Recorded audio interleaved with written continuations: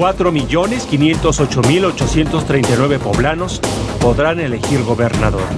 Los aspirantes para relevar a Antonio Gali Fayad son Marta Erika Alonso, de la coalición por Puebla al frente del PAN, PRD y Movimiento Ciudadano, esposa del exgobernador Rafael Moreno Valle. Ella es diseñadora gráfica y maestra en comunicación. Fue presidenta del sistema estatal DIF, secretaria general del Comité Directivo Estatal del PAN y encabezó el Grupo de Participación Ciudadana del Congreso Estatal. Enrique Dojer Guerrero es el candidato del PRI médico cirujano que desde 1992 dejó el ramo de la salud para dedicarse a la administración pública. Fue presidente municipal de la capital poblana, diputado local y federal, y hasta enero se desempeñaba como delegado estatal del Instituto Mexicano del Seguro Social.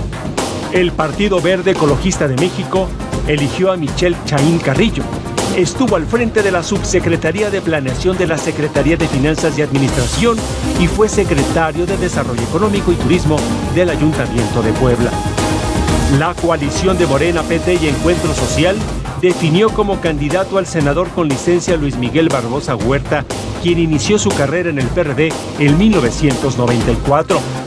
Entre sus cargos destacan el de presidente del PRD en Puebla en 1998, diputado federal, coordinador del grupo parlamentario del PRD en el Senado de la República, así como presidente de la mesa directiva de la Cámara Alta. Vota México, ADN 40.